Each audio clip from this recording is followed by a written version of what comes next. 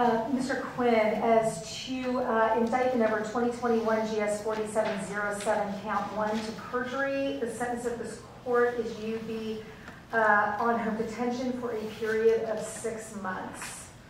On count two- four for perjury, again, you will be committed to home detention for a period of six months. On count 11 for perjury, again, six months home detention. And on, in count 12, uh, for perjury, again, uh, six months home detention. Uh, Count 2021, I'm sorry, same indictment number, count 13 for obstruction of justice. Uh, You are to be on home detention for a period of 18 months. Those are all run concurrent to each other. As far as your home detention is concerned, you obviously are in a stable home, you will remain at home. Um, You are permitted to go to work, visit your lawyers, attend medical visits and medical management. Um, You are able to go to church and any church activities that are involved.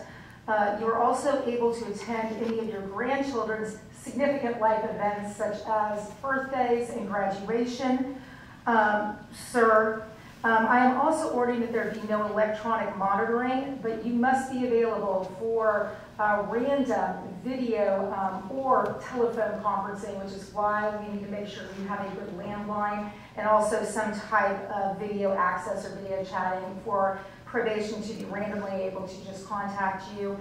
Um, Mr. Quinn, the import of this is, is that you're not to be about town. This is confinement. Obviously, this is in lieu of um, prison time and given your health.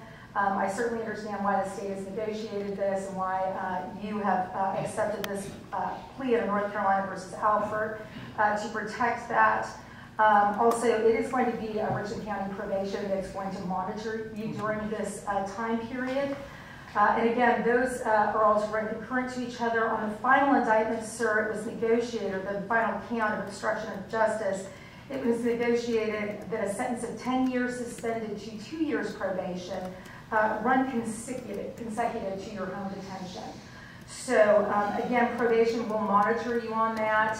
Um, If you are fully successful with your home detention and you are doing well on your probation, um, sir, obviously the probation department can always petition the court to terminate your probation early, earlier if there's no violations.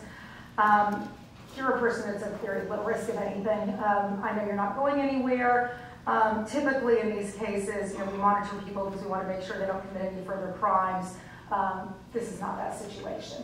Um, And it tends to be more for um, people who are younger and, but um, obviously there will be some confinement to this and some, you know, uh, controlling your whereabouts. Uh, But I do think, Mr. Barnett, this is a good resolution and I appreciate it. Uh, And again, I appreciate the finality of this uh, for everyone in this matter.